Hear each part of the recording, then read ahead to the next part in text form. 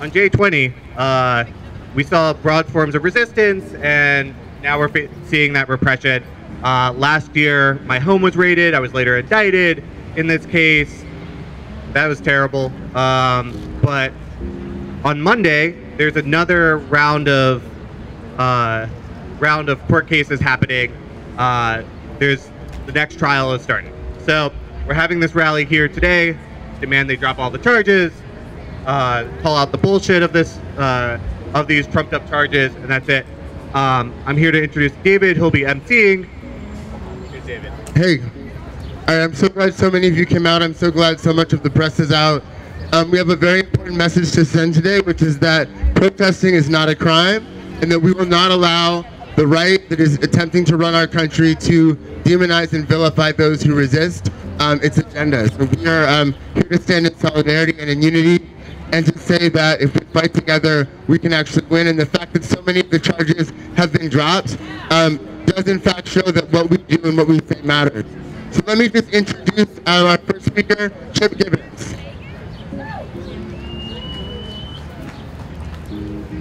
Hi, my name is Chip Gibbons. I'm with a group called Defending Rights of Dissent. We were founded in 1960 to oppose the House Un-American Activities Committee, and we have been fighting the forces that wish to repress political expression in the United States ever since. We stand in solidarity with the J20 defendants. We recognize this trial as what it is. It's an attempt to literally criminalize dissent. The prosecution, in making their case, has tried to turn journalism and protesting into elements of a criminal offense.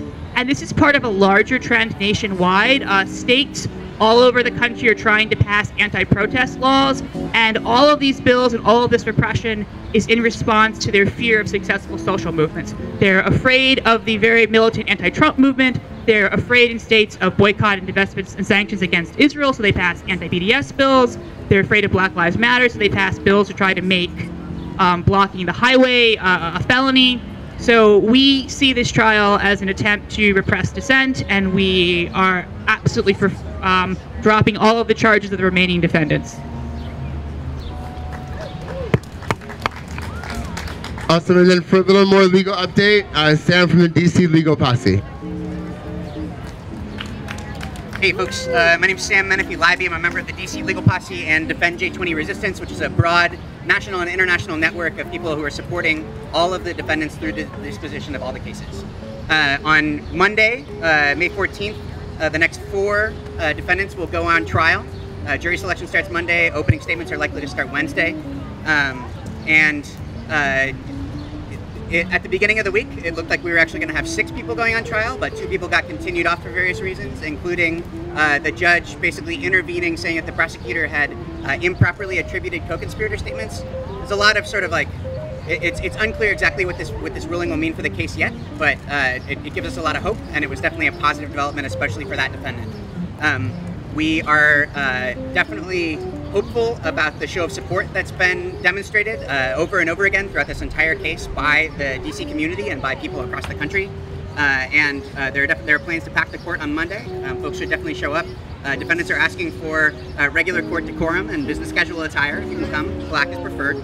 Um, we're also uh, um, excited to see what the developments will be. Um, I think that you know the U.S. Attorney's Office uh, was was thoroughly embarrassed in the first trial in November and December, and we believe that they will be thoroughly embarrassed again. Uh, and um, we are you know continue to hope that uh, this will. Uh, show the, the U.S. Attorney's Office, as well as the D.C. Superior Court, that the D.C. community, uh, the broader left, um, and uh, right-thinking people everywhere will not stand for the criminalization of protest, will not uh, stand for the criminalization of organizing, of collective action, of dissent, of politics. Um, so thanks everyone for coming out today, um, and uh, we're really excited to uh, see the next steps in this and for everyone to be free.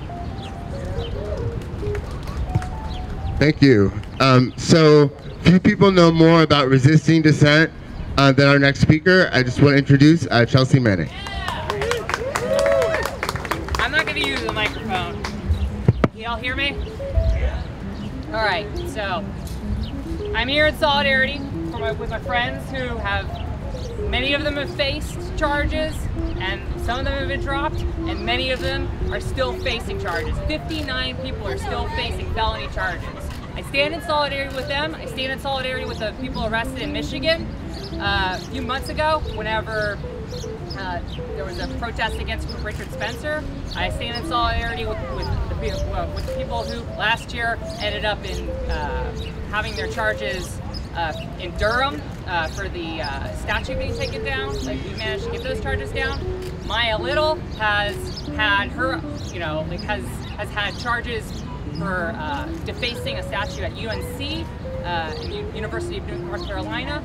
So we've been continually seeing people getting charged with felony offenses for standing up and fighting back. And if there's anything I've learned from a long trial, it is that the worst part, I spent three and a half years in, in pretrial confinement waiting for charges to be worked out. The worst part is waiting.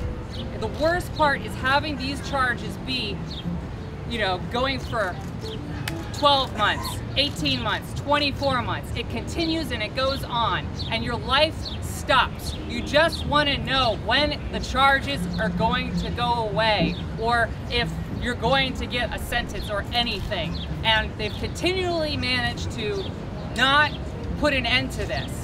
So we need to make this stop. We need to make Kerkhoff realize that what she's doing is she's basically running what the you know, she's basically running the, the uh, prosecution by the by the government for this administration to stifle all political dissent in the United States.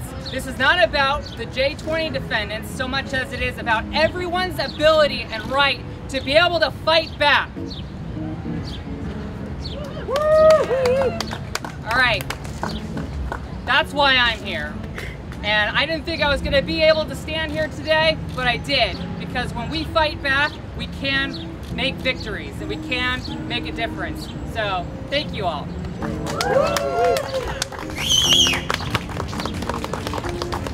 Thank you, Chelsea. I think one thing that has become increasingly clear to a lot of us as we've watched the various attempts to criminalize property destruction or wearing a certain color scheme or what have you is that what the state is out to do is set legal precedents through which the next time there's some kind of urban rebellion against a, a police killing of an unarmed black black person in this country, any activists who are located in that neighborhood could be charged with conspiracy to launch whatever um, acts of property destruction the police allege to have taken place. So it's very important that we take uh, aim at this a repressive tide at its um, at its at its very inception, and that we resisted every step of the way.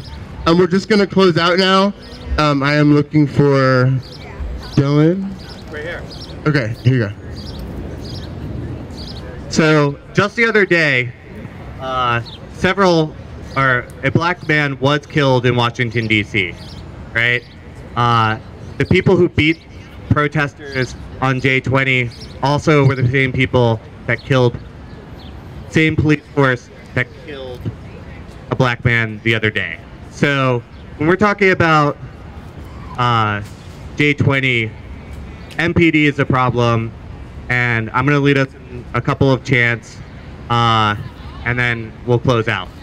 So, protesting is not a crime. L12 should do no time. Protesting is not a crime. L12 should do no time. Protesting is not a crime. L12 should do no time. Protesting is not a crime. L12 should do no time. All right. All right. Thank you, everyone. All right, cool. We're going to wrap up. So try to um, bring your signs over to this pile here. And uh, we'll see you on Monday. What time should people come to court? 8 a.m. 8 a.m. 500 Indian Avenue? 500 Indiana Avenue. Okay, 500 Indiana Avenue Northwest.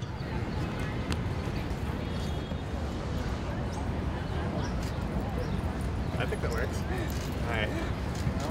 The chant of the day on J20 was uh, anti anti-capitalista. So why don't we do a round of uh, anti anti-capitalista? Ah, anti-capitalista Ah, anti, anticapitalista, ah, anti, anticapitalista, ah, anti, anticapitalista, ah, anti, anticapitalista, ah, anti, anticapitalista, ah, anti, anticapitalista, ah, anti, anticapitalista, ah, anti.